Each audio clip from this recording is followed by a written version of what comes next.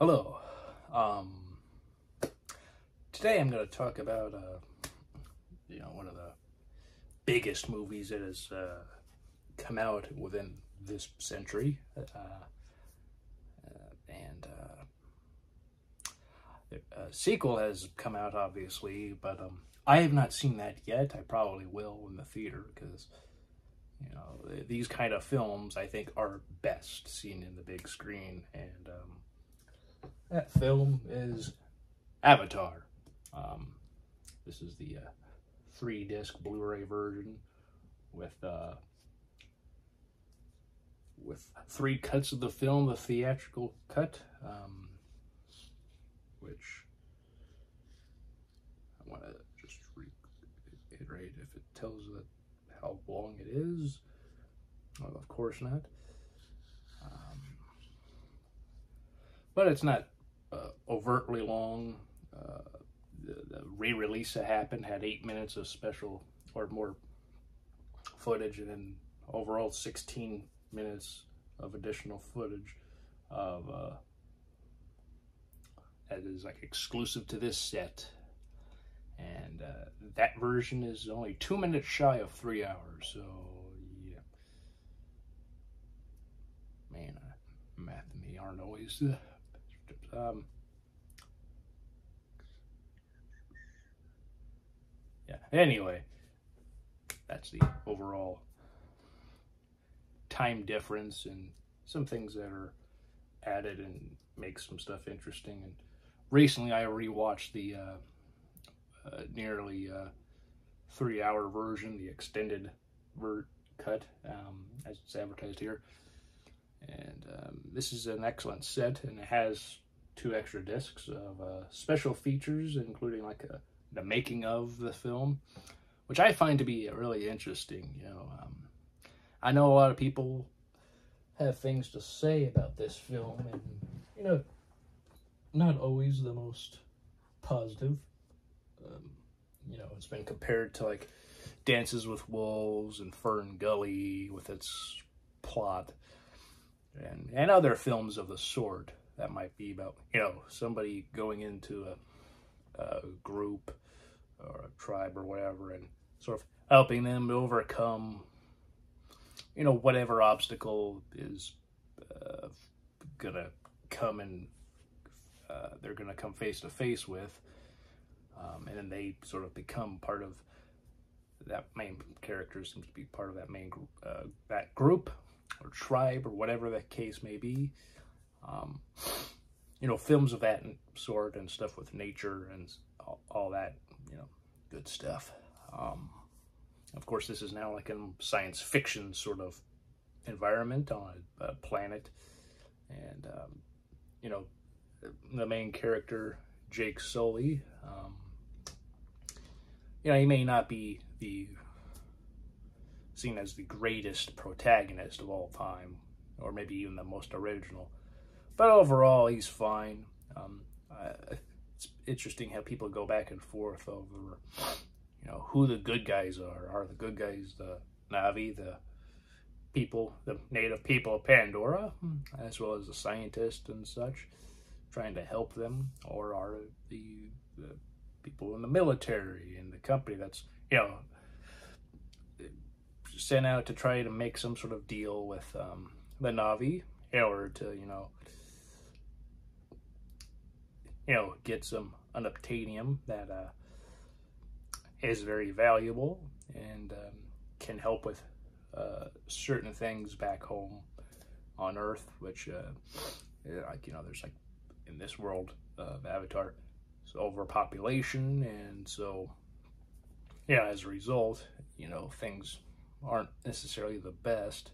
Um, and Jake Sully is a former, uh, you know, he was former Marine, who um, is in a wheelchair, got injured, and you know, and can get they can fix a spinal. That he said if you can afford it, and he, you know, isn't really able to afford such a. Uh, uh, procedure, um, and uh, yeah, it's very. It's a, overall the film itself. I think is fine.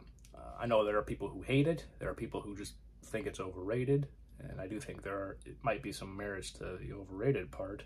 Um, but uh, I I want to sort of go back to when this film came out in 2009, and I saw in 2010. Um, it came out December 2009, and I saw it, you know, January 2010. Um, and I, uh, I had finals. Um, I saw this after like my last day of finals, and um, I was a little tired for like the first 15 or so minutes, uh, but afterwards I was very engaged with what was going on, and it's a a visually stunning movie. It's an incredible film, and watching the behind the scenes making of it, I have to say that kind of helps me sort of appreciate what what took to make this film even more.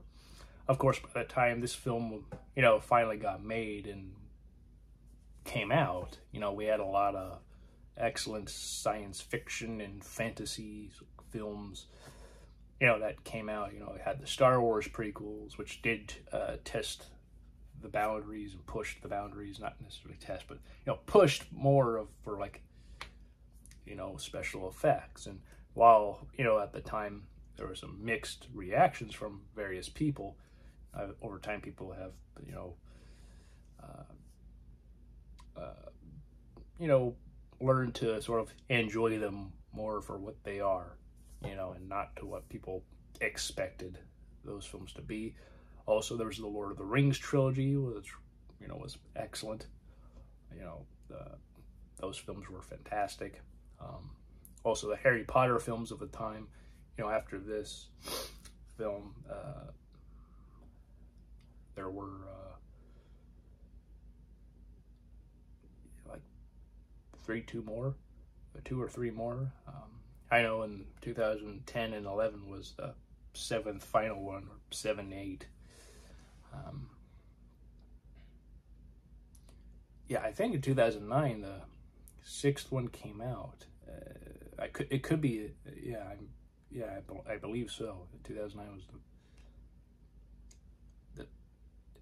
the, was the sixth film, and then you know they made the uh, seventh one, which then became two, into you know, a, you know, instead of being like a three and a half or so hour excellent, like kind of like final film, they split it into two films, but you know, even by that point, you know, the special effects and things of the world and Harry Potter are truly excellent, also, and also other films too. Not even just primarily science fiction or fantasy. Though of course, this is science fiction, but um, or I guess space opera to be more precise, because you know it is character driven. You know, Jake Sully is the lead character, and um, you know Sam Worthington. He does a very good job um, as does really everybody. Um, the cast. Um, Zoe Saldana as uh, Neytiri is very good. You know, the motion capture performance from her, you know, as well as uh, uh, Sam Worthington. But you know, Sam Worthington gets to be both the human part as well as the, you know, being in the CGI suit. Um, and it, it's really interesting how in this film that that happens. Um, and seeing in the theater was uh, an amazing experience. I really loved and I hope to see the second film soon, just because you know, while this film is a very fine film in and of itself, um, at the same time when you get it at home and you watch it, it doesn't hit you as incredible as it did if you saw it in the theater. Um, in the theater, it's an amazing film to watch. Um, in at home, it's still cool, you know, you know, for what it is, it's fine. It's fine film. Uh, it's one of those things where it's like if you were to rate it, I don't know. I guess you know I'm not the most for rating films. You know, I have a Letterboxd and I do have an IMDb account, and I do rate some films, and some films I think are, you know, accurately what I generally feel. If something is like a five out of five, get such. If something is a lower rating, I do give it as a low rating as I feel it deserves. Uh, like you know, of course, it's my opinion. Um, but even then, it's like you you just are really it's kind of hard. And for this film, I think for the theatrical uh, experience, five out of five because that is an excellent. This is a kind of film you, you know, there's a lot of debate over whether theaters are dead or not, and I don't think they are. Um, and of course, there's always going to be films like this that will come out, and I think you know all kinds of films should be out in theaters, independent ones also. Um, but of course, you know, with the way streaming is, you know, for some indie films, if say you're unable to get like theatrical distribution, but maybe you're able to get your film, you know, uh, shown through like some streaming service. If I've heard like Amazon uh, allows some people to be able to put their movies out in um uh, on Amazon Prime. So, in that way, you can get your film seen. Um, but you know, there's a theatrical experience that is like just like no other. Um, and I've always been fond of the theatrical experience. And you know, anytime there's a new movie that looks really good, I want to try and see it. You know, I saw The Whale not long ago, and that was a that was a very good experience. You know, I'm sure you know it's one of those movies where I kind of thought if I didn't get to see it in the theater, all right. But I kind of wanted to also, if that makes sense. Uh, the sequel to Avatar, I really want to see in the theater. Um, though, whenever I do get to see that, I probably won't talk about it much until I get to see until it's on like on Blu-ray because or something like the sort because then I want to see if there's any extended cut there. If maybe if I thought you know the ex- theatrical experience of that film is excellent but who knows? Maybe the if they have a similar extended cut of the sort of like this film had, um, I think that would be kind of cool to see and be able to note the differences and what does it add to the film, if anything.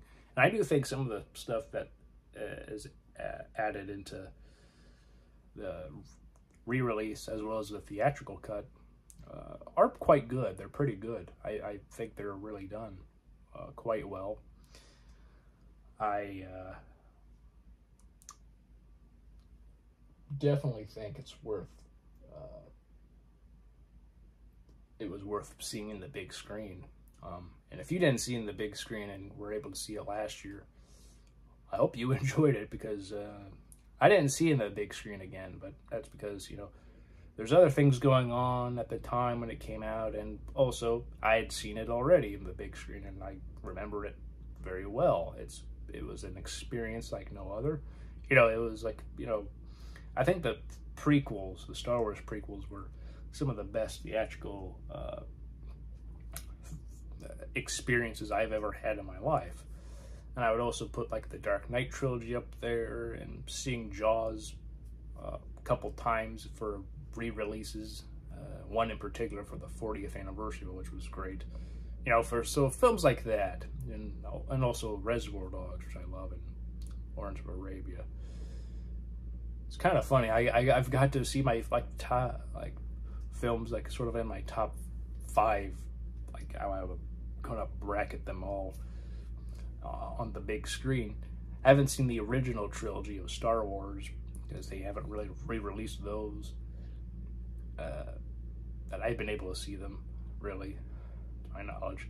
Could have, but I don't know. Maybe where I live, they just weren't.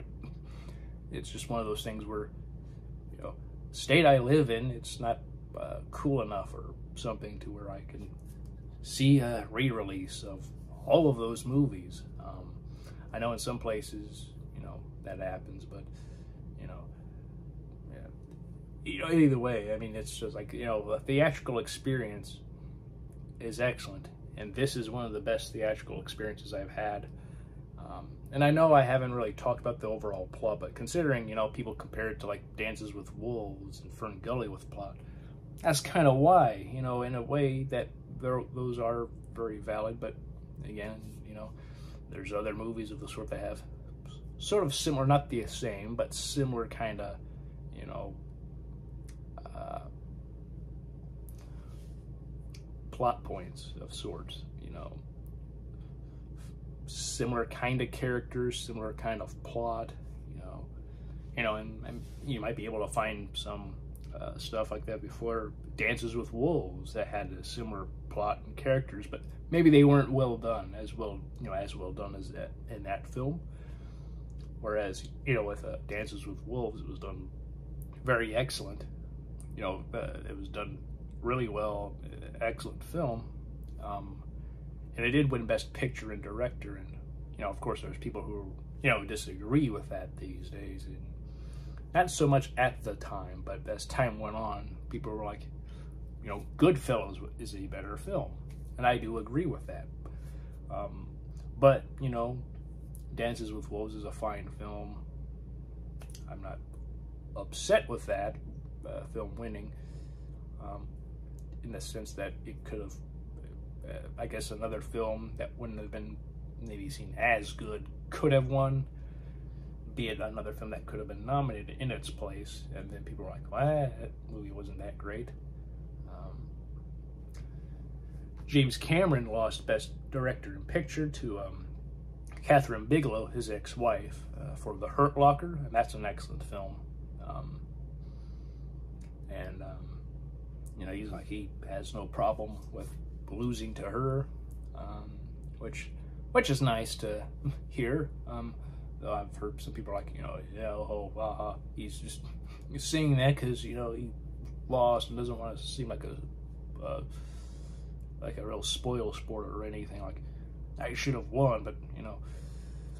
Also, it's like you know, science fiction films haven't really won anything uh, major, like at the Academy Awards in terms of Best Picture and Director. You know, stuff like Star Wars or other things like you know, science fiction or science fiction elements really implemented in them that have been acknowledged. You know, it didn't win, and you know, you all know how I feel about the original Star Wars, and now it's my favorite film And, you know, I do think it that film should have won uh, picture and director, and even screenplay perhaps, but uh, picture and director for sure. Um, I'm not all that upset that you know Avatar lost Best Picture and Director though. Uh, I think The Hurt Locker was very deserving of it, and I have no real issues with it winning. Uh, Best Picture and Director because uh, that's an extraordinary film. Um, Avatar, excellent film, uh, and it's in the sense of how groundbreaking the special effects and visuals are. Uh, it's a truly am amazing spectacle to see. If you're able to see it in the big screen, I think that makes that spectacle all the more uh, incredible. Um, seeing it at home, the the immerse uh, the immersiveness isn't as impactful though. Um, again, having watched it again after some time, it's a fine film. It's all right. It is not horrible, as some people say. Is it as great as others say? Eh, I don't know about that. um, it's fine you know, comparing to what I think, I think this might be like a three, three and a half out of five kind of movie with the, you know, because of the performances are good, uh, visuals are excellent, and it's an overall well-made film. You know, it's just like, you know, but the spectacle and everything isn't as impactful once you see it at home. It's not that uh, phenomenal of an experience in my opinion, and I've seen this various times over the years since the theatrical uh, release. Um, again, it's not a horrible movie. It's not a bad film, but it isn't as excellent as, uh, say, what you saw on the big screen if you did. Um, I did, and um, yeah, it's a fine movie for what it is. Um, I do wish that the sequel came out sooner than it did. I know that he kind of stopped because new technology was being made, and so he wanted to utilize that. But considering he has like uh, two, three more sequels or so that he's planned out that he'd like to make, I don't know. I would have thought just utilize the new technology for those films so that each movie is just as technologically uh, uh, amazing you know, to look at than the last. You know, no doubt, uh, overall, the second film is excellent overall, and even if it did come out like three to four years after this film, I'm sure the experience would have been excellent, all the same. But you know, James Cameron's doing what James Cameron's doing, um, and it seems to be working for him. So hey, you know, who who am I to uh, question what he's doing. You know, he seems to be doing uh, fine on his own, um, regardless if people love it or not. Um, but yeah, uh, this is a fine film. I do believe that the uh, uh, making of all the uh, documentaries and featurettes that are available on this set is excellent to watch. Um, and whether or not it will make your experience of uh, thinking back to the film uh, even better or not, that's up to you and your own mind. But for me, I do enjoy seeing how films are made, and you know, and seeing this film being made is really well done, and it's excellent. I do think that the making of it is truly excellent. Um, maybe that's better than the overall film itself, um, but, you know, either way, I do find uh, the making of it just as interesting as, say, watching the film itself. And so there is all that. Uh, there's really not a whole lot else I can really say. Um, fine film, and uh, if you have this set or anything with like the making of uh, stuff on in addition to it. I would say give that a watch just to see what it's all, what what all took to make it. I think if anything, you might find it truly interesting. Um, uh, Sigourney, Sigourney Weaver is in this also. She was very good. Uh, Giovanni Ribisi and uh, Stephen Lang are also in this. Um, uh, quite a bit of talented people uh, are a part of this, so you know, uh, that's also a plus, I think, you know. Um, the experience of seeing this in the theater was fantastic, and uh, yeah, fine experience at home. Not as amazing as in the theater, but for what it is, it's fine. It's a, definitely a fine film, not a horrible film at all. Um, is it overrated? Per, um, perhaps again, uh, you know, it might be that people are recalling their the theatrical experience. So when they watch it at home, that could possibly override any kind of experience they might have, no matter how great a home movie theater system you have uh, in your home. You know, no matter how great that might be, it still doesn't exactly replicate the, you know, the theatrical experience. You know, uh, but that's me. And so, in, in a way, like, what do I know? But yeah, that's just all I have to say about Avatar. Not a bad film. The experience in the big screen was amazing. And um, yeah, that's really all I have to say. Hope all of you are doing well. You've all had a uh, great, uh, great day, great week, great weekend, and all that good stuff and I'll see you all next time.